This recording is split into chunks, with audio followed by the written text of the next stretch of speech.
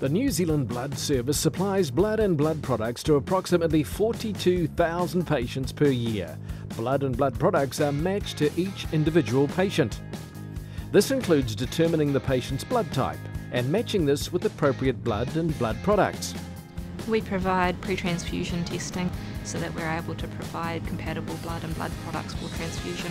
So we do this by typing the patient's group and the donor's group and checking if there are any abnormal antibodies in there and then making sure that the patient receives blood that is as safe as possible.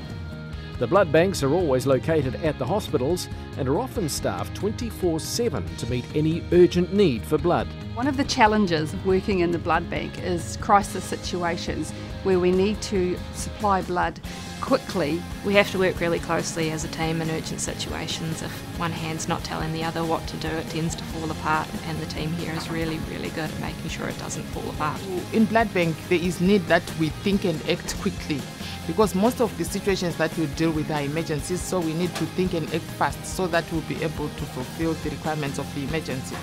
The New Zealand Blood Service operates six blood banks in six cities from Auckland to Dunedin, alongside approximately 25 District Health Board blood bank laboratories who also perform pre transfusion testing in line with defined quality standards.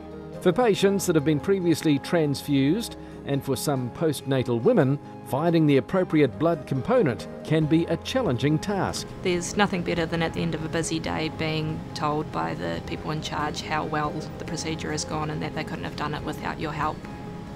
It's great knowing that the blood that we're providing to the patients is helping to save their lives. New Zealand Blood Service blood banks are equipped to perform additional blood testing whenever required. New Zealand Blood Service provides a vein to vein transfusion service.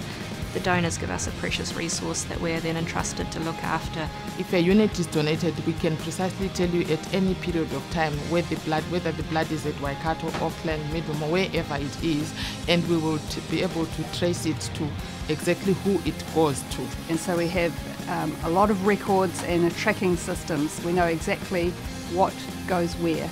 The New Zealand Blood Service blood banks also run quality audits of DHB pre transfusion testing laboratories, which includes conducting surveys, staff training, and development of standard procedures.